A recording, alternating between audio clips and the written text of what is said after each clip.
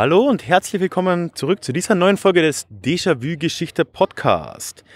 Mein Name ist Ralf und hier in dem Podcast, wenn du das erste Mal dabei bist, geht es alle zwei Wochen in die Geschichte und zwar immer mit dem Blick auf das Hier und Jetzt und wo nötig mit einer Portion Augenzwinkern.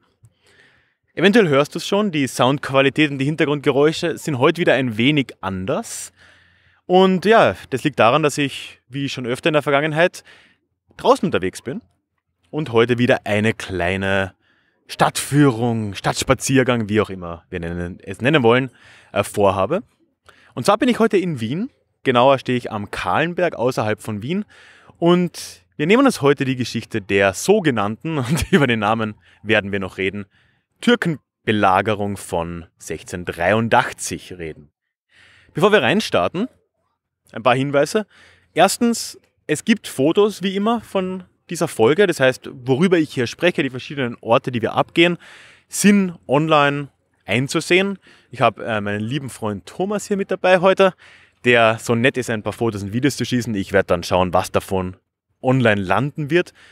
Aber ich weise dann immer darauf hin, und ja, du kannst parallel, wenn du Lust hast, auf die Website gehen. Link dazu findest du natürlich in den Show Notes oder eben direkt auf ralfgrabuschnik.com und kannst dort parallel dir die Fotos auch schon anschauen oder wie du möchtest natürlich auch im Nachhinein. Ja, und der zweite Hinweis, wie immer, würde ich mich auch freuen, wenn du dich für den Newsletter anmelden würdest. Auch dazu einen Link in den Show Notes, aber ich erzähle am Schluss dann noch ein bisschen mehr dazu. Der Ort, an dem ich jetzt bin, der wird dir eventuell ja schon was sagen. Ich habe schon erwähnt, ich bin am Kahlenberg in Wien. Wenn du noch nie in Wien warst oder den Kahlenberg nicht kennst, es ist ein nach Wiener Maßstäben Berg. Äh, alle anderen Menschen würden sagen Hügel außerhalb von Wien. Und es ist wirklich eine sehr schöne Aussicht. Das siehst du dann auch auf den Fotos. Wir sind so ja, im Nordwesten Wiens und der Ort ist namentlich vor allem auch dafür bekannt, dass eben die Schlacht am Kahlenberg hier angeblich, wir werden am Ende sehen, was dran ist, stattgefunden haben soll, die diese Türkenbelagerung von 1683 beendet hat. Wir werden aber einige andere Orte auch durchgehen hier in Wien. Wird eine, ja, ein relativ weiter Weg tatsächlich und wir schauen uns unterschiedliche Stationen an von eben dieser Schlacht, die hier stattgefunden hat und von der Belagerung davor, die sich ja doch über fast zwei Monate gezogen hat. Aber zum Einstieg schuldigt dir, glaube ich, ein bisschen historischen Kontext. Das heißt, wir fangen jetzt mal ein bisschen mit der Zeit direkt vor 1683 an. Denn wie kam es jetzt denn dazu, dass ausgerechnet die Osmanen hier in Wien aufgetaucht sind und diese Stadt belagert haben? Das ist natürlich etwas, was nicht von heute auf morgen so äh, passiert ist. Vielleicht weißt du auch noch, Erinnerungen an den Geschichtsunterricht, zumindest in Österreich, dass es ja 1683 schon die zweite sogenannte Türkenbelagerung war. Die erste fand fast 150 Jahre davor schon statt, oder über 150 Jahre, nämlich im Jahr 1529. Das Osmanische Reich war ja schon länger ein, eine aufsteigende Macht. Ich habe auch schon mal eine Folge gemacht über das frühe Osmanische Reich, also das begann so im 13. Jahrhundert. Und der erste wirkliche Höhepunkt, nachdem schon einige erfolgreiche Schlachten gerade am, am Balkan auch stattgefunden haben für die Osmanen, war dann 1453 die Einnahme von Konstantinopel, was dann sehr bald zur osmanischen Hauptstadt wurde. 1453, dann jetzt wieder 80 Jahre später, wurde dann das nächste große Ziel in Angriff genommen und das war eben Wien. Klar, das Habsburger Reich war auch im 16. Jahrhundert schon eine große Regionalmacht, nicht auf dem Höhepunkt seiner Ausdehnung, muss man sagen, aber natürlich ein ja, nennenswerter Gegner für die Osmanen und da war es naheliegend, dass das eben als nächstes Ziel jetzt auch dann in Angriff genommen werden sollte. Der Krieg von 1529, beziehungsweise die Jahre davor, war für die Osmanen auch einigermaßen erfolgreich. Also es wurde zum Beispiel Ungarn eingenommen, wurde dann dreigeteilt, eine recht komplizierte Lage, aber äh, die Osmanen konnten einen Teil Ungarns besetzen, ein anderer Teil Siebenbürgen wurde ein Vasallenstaat und die Habsburger haben sich den Norden, zum größten Teil die heutige Slowakei, unter den Nagel gerissen. Aber die Belagerung selbst in Wien hier, die war für die Osmanen sowohl kurz als auch erfolglos. Es war wohl, da streiten sich die Historiker, soweit ich das überblicken kann, auch ein bisschen einfach nicht ja, gut genug zu Ende geplant und die Stadtmauern waren am Ende dann doch einfach zu stark für das, was die osmanische Armee hier äh, mit hatte an Artillerie und an, an Truppenstärke. Das heißt, 1529 ist das relativ schnell auch wieder erledigt. Aber natürlich die Streitigkeiten zwischen Osmanischen Reich und Österreich, beziehungsweise eben dem Habsburger Reich, wie auch immer man es dann nennen will, haben danach ja auch nie mehr wirklich aufgehört. Es kam natürlich dann auch in Wellen. Klar, also über die nächsten 150 Jahre kann man sagen, es gab immer wieder Auseinandersetzungen, es gab immer wieder Scharmützel und die Möglichkeit eines Krieges war natürlich auch da immer präsent. Wenn wir jetzt näher rankommen an 1683, ist mal zu erwähnen, dass da knapp 20 Jahre davor, 1664, dann äh, wieder mal ein Waffenstillstand erarbeitet wurde, unterschrieben wurde zwischen den zwei Staaten. Gab es auch immer wieder, aber eben jetzt erneut. Und äh, obwohl man theoretisch jetzt abgesichert war, waren aber die Spannungen natürlich auch da immer noch vorhanden. Und jetzt eben im Jahr 1683, in den frühen Monaten, wird es relativ offensichtlich für die Leute hier in Wien, aber auch anderswo in Europa, dass ein neuer Angriff durch die Osmanen ja, zumindest realistisch ist oder eigentlich absehbar. Man wusste aber nicht, wohin es gehen soll. Und unsere Geschichte beginnt jetzt wirklich dann in den ersten Monaten 1683. Im März nämlich wurde dann ein ähm, Beistandsvertrag, eine Allianz wäre ein starkes Wort, aber ein Beistandsvertrag zwischen Österreich und dem Königreich von Polen-Litauen geschlossen. Beide Staaten haben sich bedroht gefühlt von, von den Osmanen zu dieser Zeit. Und ja, man hat sich eben zugesagt, je nachdem, wer jetzt angegriffen werden soll, dass dann die jeweils andere Macht zur Verteidigung kommen würde. Ähnliche Verträge hat Österreich dann oder der Kaiser von Österreich auch noch mit den äh, Bayern geschlossen. Und so hat man sich mehr oder weniger dann schon darauf eingestellt, dass nun eben äh, es wohl früher oder später so weit kommen würde. Aber es war immer noch äußerst unklar, ob denn die Osmanen jetzt wirklich diesen, diesen Angriff geplant haben, wann er denn erfolgen würde und wie genau das aussehen würde und auch vor allem, welches, welches Land, welche Stadt denn tatsächlich das Ziel davon jetzt äh, dann, dann auch wäre am Schluss. Im März ebenfalls noch, also im Prinzip wenige Tage nach diesen, diesen äh, ja, nennen wir es eine Allianz, Allianzverhandlungen, wird das dann auch schon klarer. Nämlich im März erfolgt dann tatsächlich eine Kriegserklärung des Osmanischen Reiches gegen die Habsburger Monarchie. Man wusste zwar noch immer nicht, wann und wohin ein Angriff erfolgen würde, aber nun wurde dieses Waffenstillstandsabkommen von vor 19 Jahren offiziell für beendet erklärt und es herrschte Krieg zwischen den beiden Staaten. Und man muss auch sagen, allzu höflich ging es dabei schon von Anfang an nicht unbedingt zu. Ich möchte dir mal den Wortlaut, jetzt aus einer Übersetzung von Wikipedia in dem Fall, zeigen, was da im Namen des Sultans zumindest in Richtung Wien übermittelt wurde. Zitat. Wir sind im Begriffe, dein Ländchen mit Krieg zu überziehen. Vor allem befehlen wir dir, uns in deiner Residenzstadt zu erwarten, damit wir dich köpfen können und das allerletzte Geschöpf Gottes, wie es nur ein Ungläubiger ist, von der Erde verschwinden lassen. Wir werden groß und klein zuerst den grausamsten Qualen aussetzen und dann dem schändlichsten Tod übergeben. Na, wenn das keine blumige Kriegserklärung ist, ne? Wunderbar. Das heißt, im März, man hätte sich schon denken können, der Krieg kommt. Klar, damals wurden Kriege auch vor allem im Sommer gefochten, man konnte sich denken, ein bisschen Vorbereitung wird es noch sein. Und dass Wien das Ziel sein könnte, war jetzt ja auch klar. Ne? In, in der Residenzstadt zu erwarten, haben sie eigentlich recht klar ausgedrückt. Aber trotzdem war man sich nicht ganz sicher. Ne? Also das hätte ja auch meinen können, dass nach dem gewonnenen Krieg man, man in Wien einziehen würde. Also Vorbereitungen beginnen langsam auf beiden Seiten. Ende März zieht die osmanische Hauptarmee dann los nicht von Konstantinopel, sondern von Edirne, Adrianopel damals, also in der heutigen europäischen Türkei. Im Mai kommt diese große Armee unter dem Heerführer Kara Mustafa dann auch in Ungarn an und damit an der Grenze zum Habsburgerreich. Und dann im Mai kommt es auch zu ersten Kämpfen. Das waren eher so, ja, so Ausschweiftruppen, äh, die ja, in kleineren Scharmützeln sich mit den, mit den österreichischen Truppen dann eben bekämpft haben. Es wird aber klar, dass die Lage langsam ungemütlich wird. Trotzdem war man sich in Wien immer noch unsicher. Ne? Es gab jetzt Kämpfe in Ungarn oder an der Grenze zu Ungarn, das ja immer noch von den Osmanen beherrscht war. Das heißt, es war noch immer nicht klar, in welche Richtung der endgültige Schlag geraten würde. Und sogar die osmanischen Soldaten wussten das nicht, bis sie in Ungarn äh, eingelangt sind. Und erst dort hat Kara Mustafa dann die Stadt Wien als Ziel ausgegeben. In Wien kommt es dann erst Anfang Juli wirklich endgültig durch, dass man mit Sicherheit sagen konnte, die Osmanen sind jetzt auf dem Weg in Richtung Hauptstadt, also in Richtung Wien. Anfang Juli, also doch fast vier Monate nach Kriegserklärung. Und erst dann wird dann ein, ja, ein Verteidiger bestimmt oder ein Kommandeur der, der, der Verteidigung, nämlich Graf von Starchenberg, Ernst Rüdiger von Starchenberg. Und der Kaiser, Kaiser Leopold damals, der setzt sich sicherheitshalber schon mal aus der Hauptstadt ab und zieht in Richtung Passau, wo er dann Truppen zusammenzieht. Wie gesagt, ich habe schon erwähnt, Bayern war unter den verbündeten Staaten, aber dort kamen auch andere Truppen dann aus den verschiedenen deutschen Landen noch, noch zusammen. Mit dem Kaiser fliehen jetzt im Juli dann auch alle, die es sich irgendwie leisten können.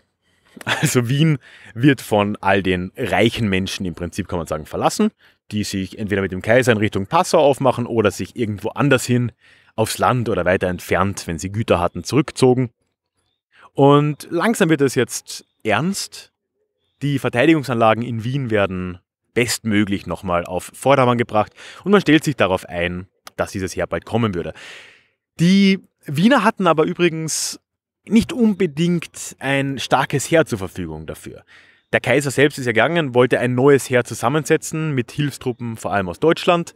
Man hat natürlich dann darauf gehofft, dass die polnische Allianz dann äh, greifen würde. In Wien selbst gab es tatsächlich aber nur eine sehr kleine kaiserliche Armee, die sich hier in der Umgebung aufgehalten hat. Die war östlich äh, von Wien in der heutigen Leopoldstadt. Das ist eine, eine Vorstadt Wiens. Und man wartet nun eben darauf, dass dass die Osmanen kommen. Aber ganz ehrlich ist der Kahlenberg, auf dem ich hier stehe, dafür eigentlich äh, der falsche Ort. Das heißt, wir bewegen uns jetzt ein bisschen weiter und ich werde dir jetzt dann langsam von beiden Seiten, von osmanischer Seite wie auch von Verteidigerseite, dann schildern, wie sich diese Belagerung, die hier dann bald im Juli 1683 folgen wird, entwickelt hat und wie das ungefähr ausgesehen hat damals. In der Zwischenzeit kannst du dir schon mal die Fotos ansehen von hier. Du kannst den Ausblick in Richtung Wien sehen, um mal so ein Gefühl zu bekommen, was der Kahlenberg ist. Und ja, auch noch ein paar andere Fotos. Und gleich geht es dann weiter mit den Angreifern. Und wir schauen uns an, was die Osmanen denn genau hier getan haben.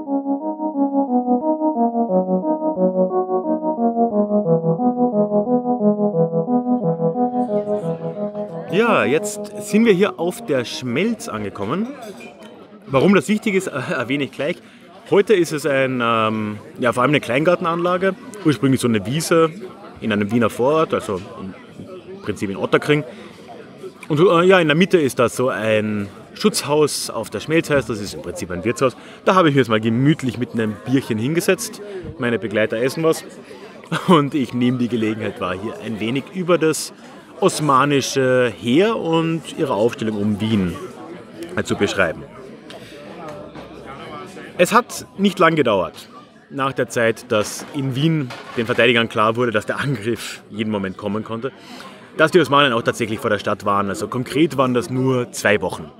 Anfang Juli war es klar, dann begann Starchenberg mit der Verteidigung oder mit der Vorbereitung der Verteidigung. Dazu erzähle ich dann vor Ort in der Stadt ein wenig mehr. Und dann schon am 14. Juli taucht das Heer auch tatsächlich hier auf. Also das ist eine relativ kurze Zeit. Und das Hauptlager, das Hauptzeltlager der Osmanen, wo auch Kara Mustafa als ihr Kommandeur dann den Posten bezogen hat, war hier direkt auf der Schmelz. Der Grund dafür ist relativ simpel. Wir sind hier im Westen der Kernstadt Wiens, aber wirklich immer noch, ich bin schlecht im Schätzen, zumindest drei, vielleicht etwas mehr Kilometer von der Stadt entfernt. Es geht hier leicht bergab und damals, als es alles noch nicht so zugebaut war, konnte man von hier eben direkt auf die Stadt sehen und man konnte direkt auf den Abschnitt der Stadtmauer sehen, den die Osmanen sich als Ziel auserkoren hatten oder den Kara Mustafa sich als Ziel auserkoren hatte, nämlich die Burgbastei. Ganz in der Nähe des, äh, der Hofburg, also des Sitzes des äh, Kaisers, der aber ohnehin bekanntlich schon weg war. Die erste wichtige Aufgabe natürlich dieses Heers war es jetzt nach ihrer Ankunft hier ein Lager zu beziehen und die Stadt vollkommen zu umschließen. Hier im Westen ging das relativ schnell, auch im Norden und im Süden war das erstmal kein großes Problem. Im Osten hat es ein bisschen länger gedauert, weil dort war noch ein einziges österreichisches Heer übrig. Die mussten dann ausweichen, wegen der Übermacht, sind etwas weiter nach Norden gezogen und äh, haben damit dann wenige Tage nach dem 14. Juli, zwei, drei Tage, war dann Wien vollkommen umschlossen und die Belagerung konnte dann wirklich beginnen und wurde eben von Kara Mustafa von hier oben befehligt. Vom ersten Tag an beginnt das Ganze mit einer Bombardierung Wiens. Dazu muss man jetzt sagen, dass das 17. Jahrhundert natürlich eine Zeit war, in der das Schießpulver schon eine große Rolle in der Kriegsführung gespielt hat. Und vor allem die Osmanen waren damals äh, ja wirklich an der vordersten Front, was diese Entwicklungen anging, hatten da wirklich sehr gute Technik und konnte, konnten wirklich relativ, jetzt wird's laut, relativ schwere Kanonenkugeln auch tatsächlich über relativ weite Entfernungen relativ treffsicher platzieren. Also das äh, war etwas, mit dem man rechnen musste auch und was für die Mauern Wiens natürlich eine relativ große Herausforderung darstellen würde. Vom ersten Tag also das. Zusätzlich werden dann aber nicht direkt von hier, aber so einige hundert Meter in Richtung Stadt dann schon äh, Gräben ausgehoben, um auch die Fußsoldaten näher an die Stadt ranzukriegen. Weil natürlich war es ja da extrem wichtig, dass man, wenn man die Stadtmauern erreichen wollte, auch die Leute dort sicher hinkriegt und sie vor dem, vor dem äh, Feuer der Verteidiger schützen kann. Und daher, das kann man sich wirklich ein bisschen vielleicht vorstellen wie im Ersten Weltkrieg mit den Schützengräben, hat man mit Gräben gearbeitet, sodass wirklich kilometerlange Systeme gezogen wurden. Da gibt es alte Zeichnungen davon, vielleicht finde ich eine noch, wo wirklich wie so, so Spinnwebenartig von hier die, die Angreifer, die Osmanen, wirklich ihre Gräben in Richtung Stadt gezogen haben und äh, damit versucht haben, näher an die Mauern ranzukommen, möglichst, möglichst unbeschickt. Also auch das beginnt gleich am Anfang und sehr bald würden diese Gräben dann auch unterirdisch verlaufen, um die Stadtmauern versuchen zu sprengen, aber auch dazu erzähle ich dann unten in der Stadt gleich ein wenig mehr, nachdem ich hier von diesen Hunden wegkomme, weil es wird langsam ein bisschen anstrengend. In der Zwischenzeit versuche ich hier noch ein Foto zu machen. Wie gesagt, der Ausblick in Richtung Innenstadt dürfte nicht mehr gegeben sein. Ich bin mir nicht ganz sicher. Ich werde es versuchen. Aber zumindest kann man den Ort sich dann mal ein wenig vorstellen. Mit viel Fantasie sieht man vielleicht noch, wie das damals hier als Zeltlager gewesen sein könnte. Hat sich aber alles ein bisschen verändert. Und hier jetzt, ja, so wie es hier jetzt aussieht, wäre das damals wohl nicht gewesen. Die Leute essen hier in aller Freude Schweinefleisch, umgeben von äh, Kleingartensiedlungen dürfte unter Kara Mustafa anders gewesen sein, aber für ein kleines Bild genügt es ja.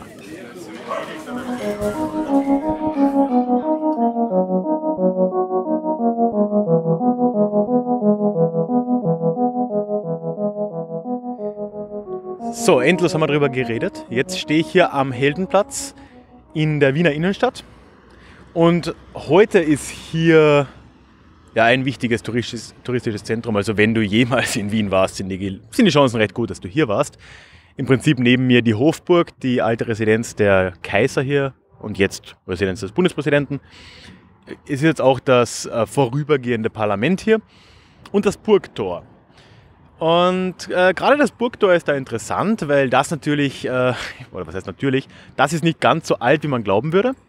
Nämlich 1683 gab es hier noch kein Tor, weil naja, Tore gegen Angreifer sind so mittelgut, sondern man hat hier natürlich Verteidigungsanlagen gehabt. Und das war genau die Ecke Wiens, die von Kara Mustafa auch als Ziel ausgewählt wurde.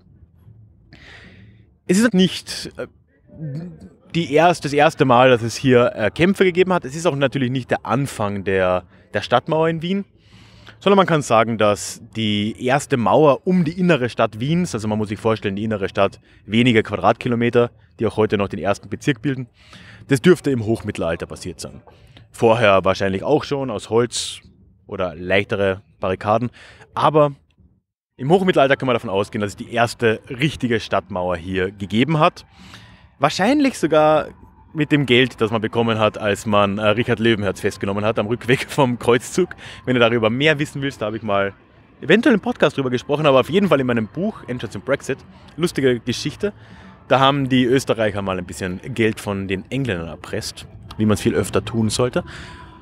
Und äh, haben hier ja unter anderem mit dem Geld eine erste Stadtmauer errichtet, die dann auch wirklich aus Stein war. Und die wurde in der nächsten Zeit immer wieder mal äh, erneuert. Und das letzte Mal vor 1683, dass es hier eine echt grundlegende Erneuerung gegeben hat, das war nach der ersten Belagerung, also 150 Jahre zuvor.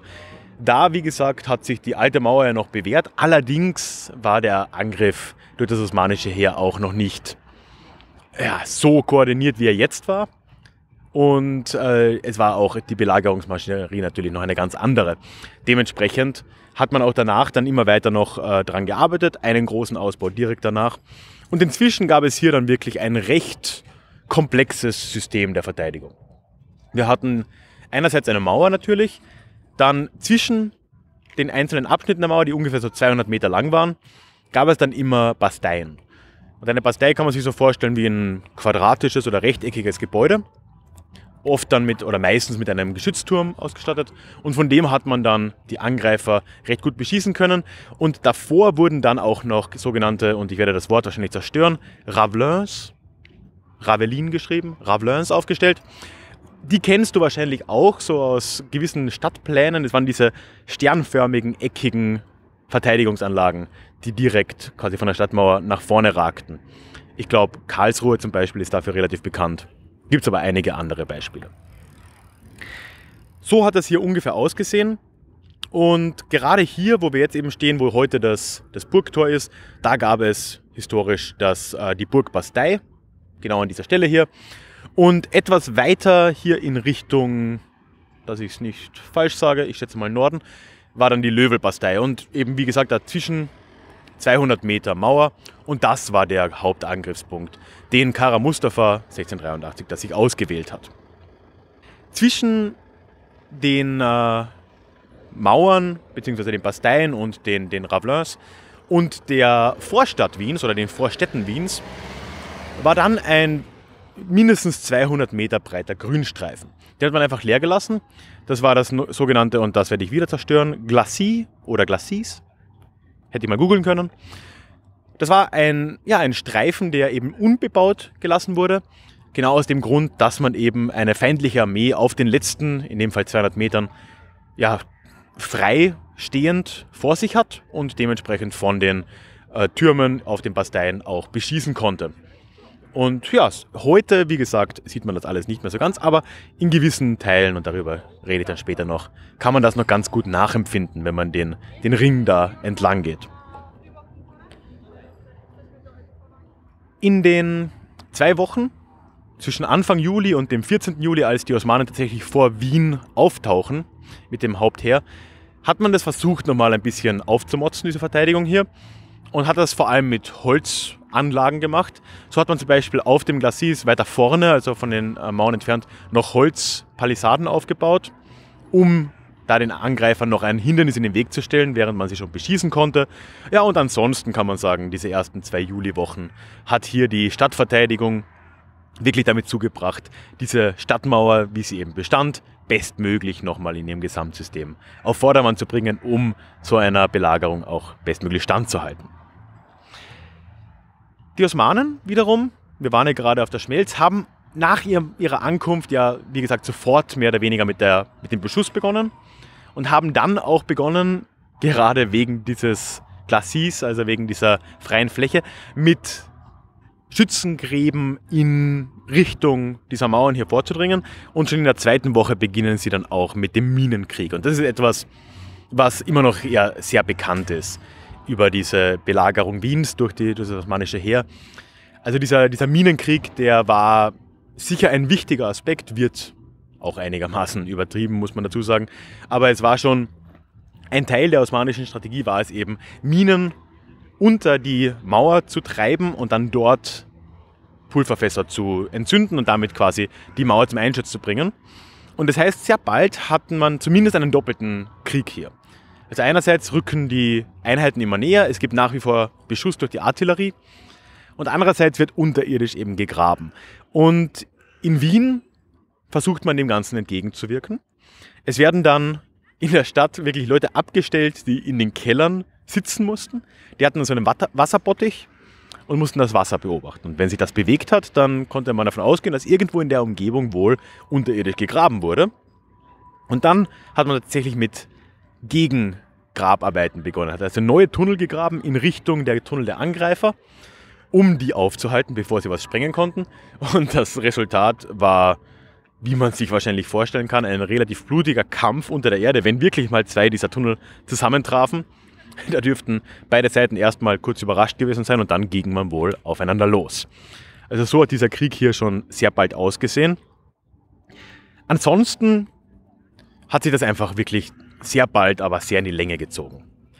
Also wir sind jetzt Mitte Juli, dass diese Belagerung beginnt. Wir sind so, ja, sagen wir um den 22., 23. Juli, dass der Minenkrieg beginnt. Aber trotz einer Welle nach der anderen schaffen es die osmanischen Angreifer irgendwie nicht, diese Mauern tatsächlich zu überwinden. Es gibt immer wieder kleinere Erfolge, auch Sprengungen, aber das Überwinden der Mauer an sich will einfach nicht gelingen.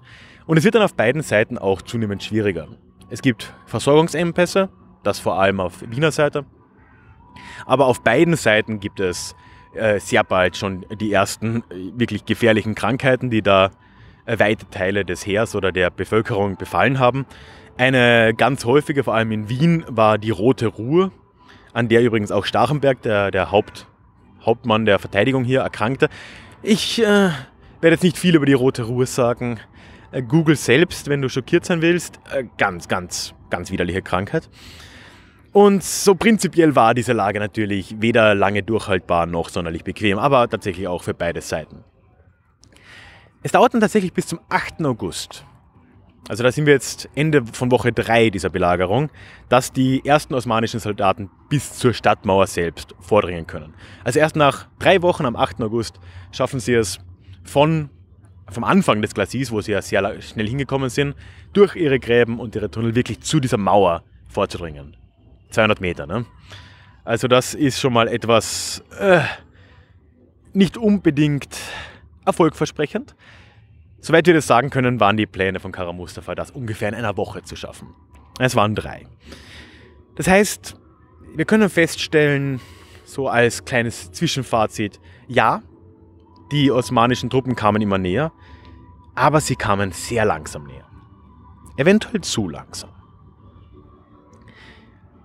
Aber um den Höhepunkt jetzt ein wenig einzuleiten, wechseln wir nochmal auf die osmanische Sicht und schauen uns mal an, wie sich die Osmanen auf einen eventuellen Gegenangriff oder einen Zatzheer, mit dem sie ja durchaus zu rechnen hatten, vorbereiteten.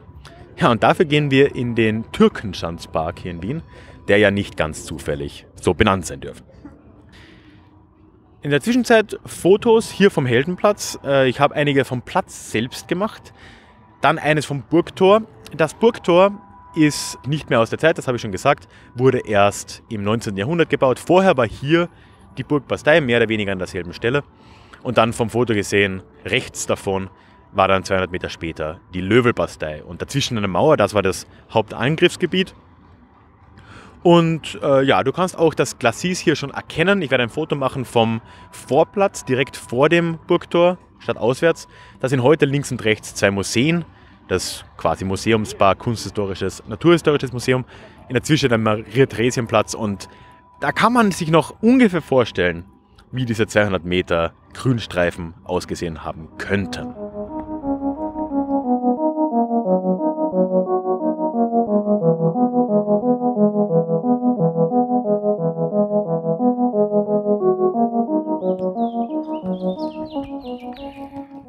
So, jetzt stehe ich hier im Türkenstandspark. Das ist heute im 18. Wiener Bezirk in äh, genannt Währing. Und hier möchte ich ein bisschen über die Situation unter den osmanischen Besatzern nochmal reden. Wir waren ja schon auf der Schmelz, wo das Hauptheer war. Und hier am heute, heute sogenannten Türkenstandspark war eine Schanze der Osmanen.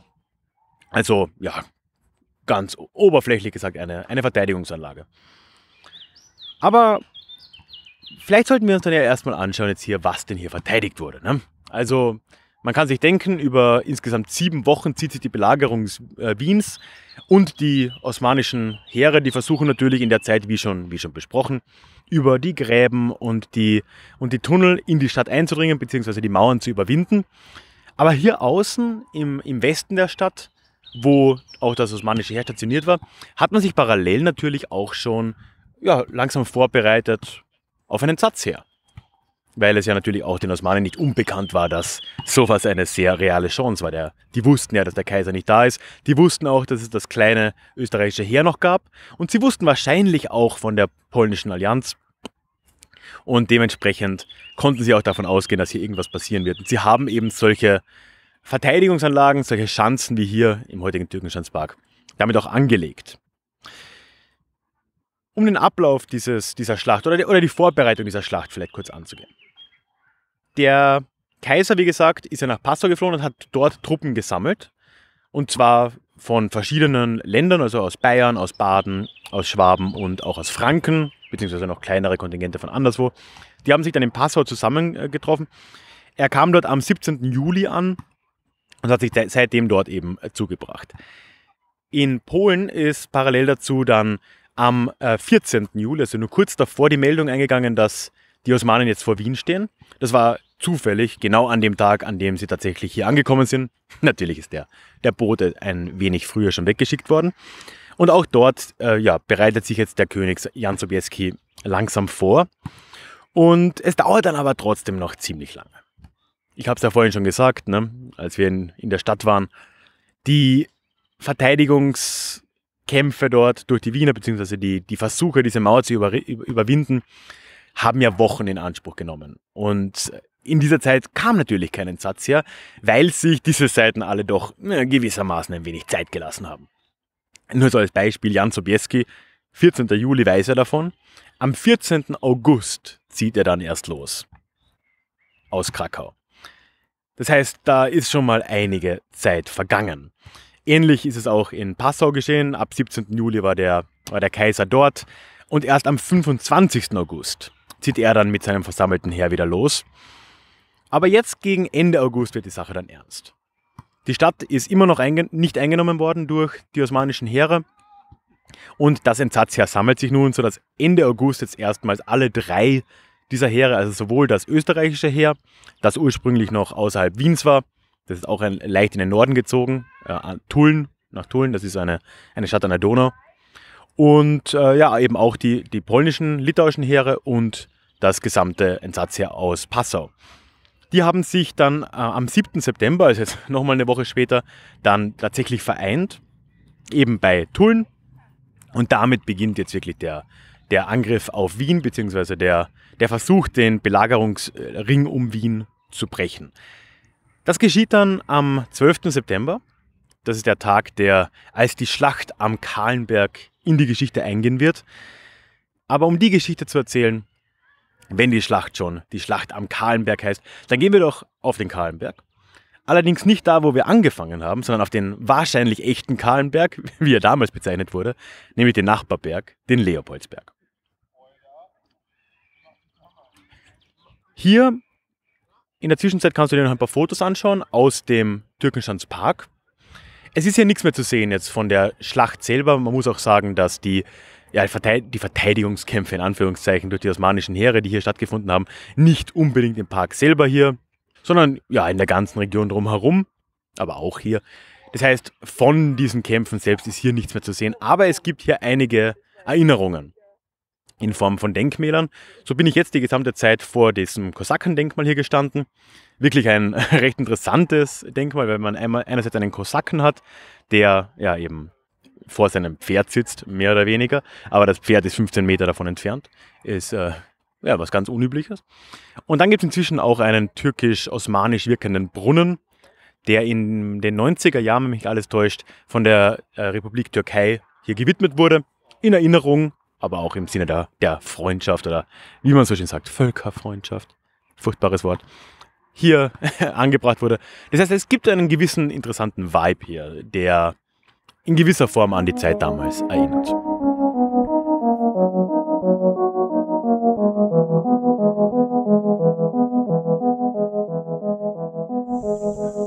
So, und zum Abschluss bin ich jetzt wieder zurück am Kahlenberg, beziehungsweise am wahrscheinlich echten Kahlenberg, an dem, was heute als Leopoldberg benannt ist, Leopoldsberg.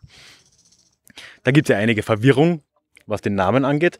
Aber von hier sieht man eigentlich ganz, ganz schön die, die zwei Berge. Von hier sieht man den Kahlenberg rechts von uns. Das wird man auch auf den Fotos gut sehen. Dann mit Blick auf Wien.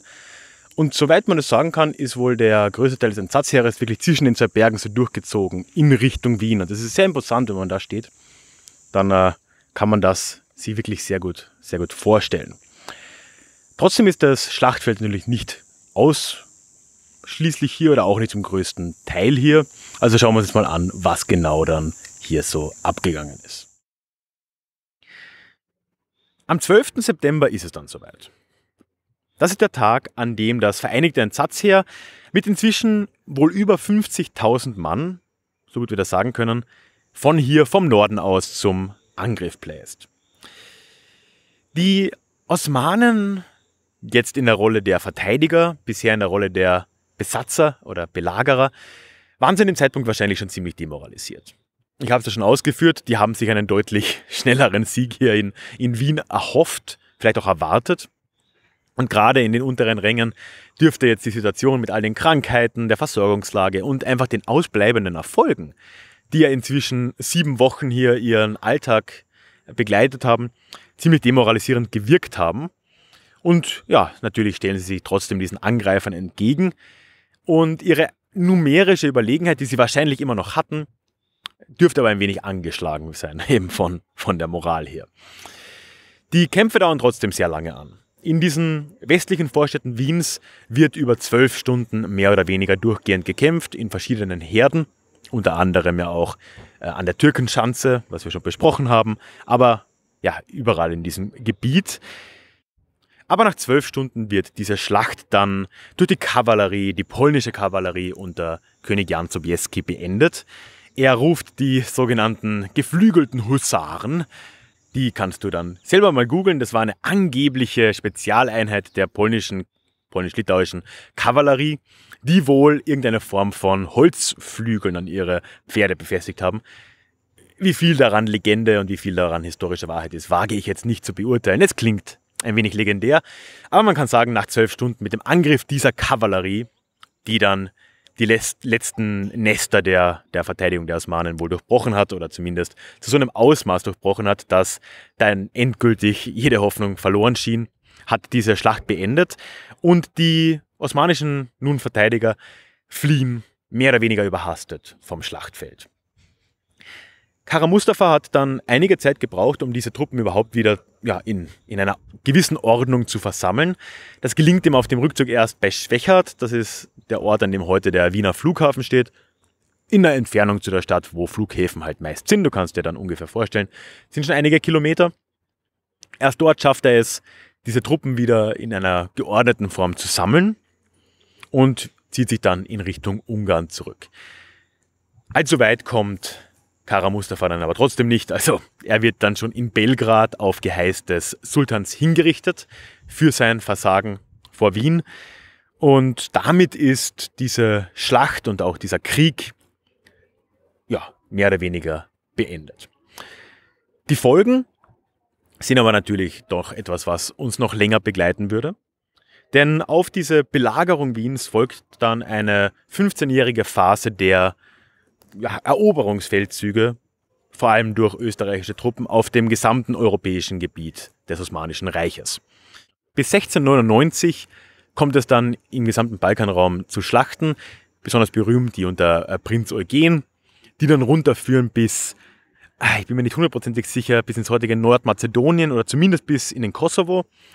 Und erst dann wird mit einem, mit einem Friedensvertrag eine neue Grenze gezogen. Ungarn fällt wieder zurück man fällt nicht zurück. Ungarn fällt nun an die Österreicher, wird dann ja, ja noch deutlich später dann zur ungarisch-österreichischen Doppelmonarchie. Und äh, ja, die neue Grenze ist eben nun in Nordserbien. Die Schlachten und eben die, die österreichischen Angreifer waren aber natürlich schon deutlich weiter im Reichsgebiet. Das heißt, es war wirklich eine vernichtende Niederlage für das Osmanische Reich. Aber da kommen, kommen wir jetzt auch schon zu einer ja, weit verbreiteten Annahme und vielleicht einem Mythos, den man hier mal kurz angehen sollte oder den ich angehen will. Nämlich, dass diese verlorene Schlacht am Kahlenberg und mit ihr eben die Folgen in den nächsten 15 Jahren, die, die Verluste auf der Balkanhalbinsel, der Verlust Ungarns, dass das im Prinzip schon den Untergang des Osmanischen Reichs eingeläutet hätte. Und das ist eine Vereinfachung, die man so eben nicht stehen lassen kann. Klar, das Osmanische Reich war zu diesem Zeitpunkt sicher auf einem Höhepunkt seiner, seiner Ausbreitung und seiner Macht, auch davor schon. Also das war natürlich eine Zeit, die frühe Neuzeit, wo das Osmanische Reich eine, ja, wenn nicht die militärische Großmacht Europas war. Und das hat sich danach nie mehr so wiederholt. Aber einen, eine direkte Linie zu ziehen von dieser Schlacht am Kahlenberg 1683 bis zum Untergang des Osmanischen Reiches, dann final 1923, das wäre eine grobe Vereinfachung. Weil dieser Staat hat ja noch 250 Jahre lang Bestand gehabt und gerade auf nicht, also durchaus auch im militärischen Gebiet, aber gerade auf kulturellem Gebiet und äh, in vielen anderen Dingen war dieser Staat nach wie vor ein funktionaler und ein erfolgreicher, wo auch viel geschehen ist. Das heißt, es kann keine Rede sein davon, dass mit dieser Schlacht der Untergang des Osmanischen Reiches schon mehr oder weniger besiegelt war. Man kann auch nicht sagen, und das ist ein anderer Mythos, dass diese Schlacht hier und die Belagerung Wiens ein großer Konflikt zwischen den Kulturen und den Völkern gewesen wäre oder zwischen den Zivilisationen. Auf der einen Seite der Osten, der Islam und auf der anderen Seite der Westen, das Christentum, weil auch das ist ja nicht so einfach. Ich habe die ganze Folge jetzt versucht, das Wort Türkenbelagerung zu vermeiden und eben über die Osmanen zu sprechen, weil dieser geläufige Begriff der Türkenbelagerung von Wien schon irreführend ist. Die Angreifer waren nicht in ihrer Gänze türkisch und waren auch nicht in ihrer Gänze muslimisch. Es gab ein gemischtes Heer, wie es damals in allen Reichen üblich war, natürlich auch in Österreich. Untertanen sind Untertanen, da ist es dann nicht unbedingt wichtig, welche Religionen die jetzt äh, dazugehörig sind. Und in den osmanischen Truppen der Zeit waren zahlreiche andere Völkerschaften, andere Religionen vertreten. Von griechischen Orthodoxen über rumänische Orthodoxe und, und Slawen bis hin zu Armeniern, bis hin zu ganz vielen anderen. Und natürlich auch teilweise Ungarn und Siebenbürger, die hier unter dem osmanischen Sultan gedient haben. Aber von einem einfachen Kampf zwischen den Zivilisationen kann hier keine Rede sein, so wie das eigentlich in der Geschichte nie wirklich so einfach ist, wie es dann gern gerade von falscher politischer Seite dargestellt wird. Am Ende kann man eigentlich hier noch eine Ironie der Geschichte feststellen. Denn diese zwei Monolithen, das Osmanische Reich auf der einen Seite und das Habsburger Reich, später die Donaumonarchie, die K&K-Monarchie auf der anderen, die würden sich ja auch in Zukunft, davor schon und auch danach, immer wieder streiten. Es gibt immer wieder dann neue Probleme, die da aufkommen, auch neue, neue kriegerische Auseinandersetzungen. Zum Beispiel dann ja auch die Besetzung Bosniens durch die K&K-Truppen in den 1870er Jahren und viele andere mehr. Und in diesem gesamten Zeitraum über fast 500 Jahre stehen diese zwei Staaten sich feindlich gegenüber in verschiedenen Auseinandersetzungen. Und 1683 ist dafür nur ein Beispiel. Und es ist wirklich eine Ironie, dass sie dann beide zugrunde gehen im Zuge des Ersten Weltkriegs. Beide diese Staaten, die seit Jahrhunderten Bestand hatten, verschwinden jetzt von den Landkarten. Und sie tun das als Alliierte Seite an Seite im Ersten Weltkrieg. Manchmal kennt die Geschichte dann eben doch Ironie. Heute gibt es noch einige Spuren von der Belagerung von 1683. Allerdings muss man schon ein bisschen suchen. Es gibt einige Denkmäler, die du dir anschauen kannst. Von einigen habe ich auch Fotos gemacht auf der Webseite. Es gibt ein paar andere Sachen, die man nicht sehen kann, die aber eine Rolle spielen. So zum Beispiel die Glocke im Stephansdom, die Pummerin, also die, die große Glocke, die wurde aus äh, osmanischen Geschützen quasi dann gegossen und die ist da, da auch immer noch. Es gibt noch einige andere Denkmäler, auch am Leopoldsberg, ein Kosakendenkmal zum Beispiel. Und es gibt, und das ist vielleicht das einzige wirklich greifbare, es gibt noch einige sogenannte Türkenkugeln. Also osmanische Geschosse, die in der Wiener Innenstadt vor allem noch zu besichtigen sind, oft an Häusern oder in Häusern. Zum Beispiel eine vergoldete Türkenkugel kann man am Hof in der Innenstadt besichtigen, am Hof 11, wenn du da mal vorbeikommst. Die dürfte auch echt sein. Eine mehr oder weniger definitiv echte Kugel gibt es in der Sterngasse 3. Und es gibt wohl noch einige mehr über die innere Stadt verteilt, wobei es eben doch einige Türkenkugeln gibt, die wohl nicht tatsächlich aus der Belagerungszeit kommen. Ja, und dann gibt es da noch einige Mythen, was alles von dieser Belagerung übrig geblieben sein könnte. Und da will ich jetzt gar nicht zu lange drüber reden, aber ich finde, man muss es kurz ansprechen, einfach weil es sehr präsent ist. Zum Beispiel wird gerade in Wien gern behauptet, dass die Erfindung des Kipferl oder des Croissant davon davon stammt, dass eben hier diese Belagerung war und man hat dann den Halbmond der Osmanen gesehen und hat dann so ein Gebäck gebacken. Das scheint, äh, ja, also es klingt schon unwahrscheinlich und meiner kurzen Recherche zugegebenermaßen nach ist das auch einfach nichts dran. Also Croissant oder, oder mondförmige Gebäckstücke gab es in Westeuropa auch früher schon oder in Mitteleuropa. Und ganz ähnliche Geschichten gibt es auch um den Kaffee, den angeblich die Osmanen hier vergessen hätten während ihrer Belagerung. Und deswegen gibt es eine Kaffeehauskultur in Wien. Auch das werde ich eher als Mythos abtun. Ja, aber damit sind wir auch schon am Schluss angekommen. Ich würde mich jetzt natürlich sehr freuen, von dir zu hören, was du von, von dieser etwas anderen Folge jetzt wieder mal gehalten hast. Ich versuche das jetzt ja öfter zu machen weil es mir einfach Spaß macht und bisher auch gut ankam. Aber ich freue mich natürlich immer zu hören, was deine Gedanken äh, dazu sind. Das kannst du direkt auf der Website machen. Du kannst nämlich diese Episode dort finden, da kann man direkt drunter kommentieren und wenn du zum Beispiel auf Spotify zuhörst, dann findest du dort auch die Show Notes, die auf Spotify nicht so leicht auffindbar sind. Und einen Link dorthin findest du entweder in den Show Notes, wenn du sie hast, oder direkt auf meiner Website ralfkrabuschnik.com und dann oben über den Reiter Podcast kommst du direkt zu den aktuellen Folgen. Da findest du dann alles gesammelt und auch sonst alles, was ich hier noch erwähne und auch einen Link zu den Fotos und so weiter und so fort. Ich habe allerdings auch noch eine kleine Bonusfolge aufgenommen, denn ich habe im Zuge dieser, dieser Episode jetzt ja sehr viel über die Verteidigung Wiens gesprochen und habe da auch einige wichtige Stationen angesprochen. Wir waren gemeinsam am Heldenplatz, ich habe über die Burgbastei gesprochen, über die Stadtmauern. Und ich habe auch kurz angerissen, dass diese Stadtmauern heute so nicht mehr wirklich existieren. Oder was heißt wirklich nicht mehr existieren. Und das kleine Bonusfolge für alle Leute in meinem Newsletter habe ich mich jetzt noch hingestellt und über diese Stadtmauern und ihr Ende gesprochen. Und wenn dich interessiert, wie denn in Wien, und das ist umlegbar auf sehr viele andere europäische und auch deutsche Städte, diese Mauern abgetragen wurden im 19. Jahrhundert und von wem, warum und von was sie ersetzt wurden, dann hör da gerne rein. Wenn du schon im Newsletter bist, und das jetzt zeitnah hörst, dann kriegst du diesen Mittwoch, also übermorgen, wie üblich deine Dosisgeschichte per E-Mail, wie ich es immer mache alle zwei Wochen. Und dort findest du auch einen Link dorthin und kannst dir den MP3 runterladen.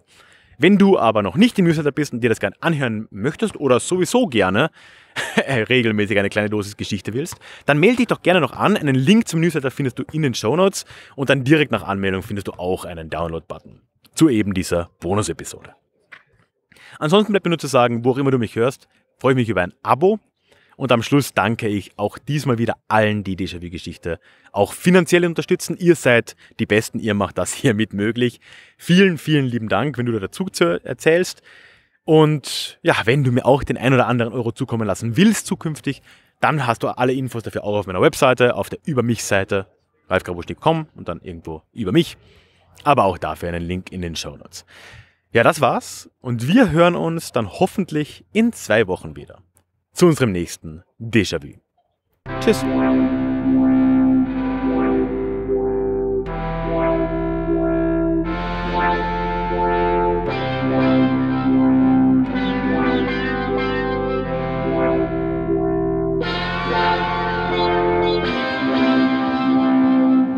Déjà vu.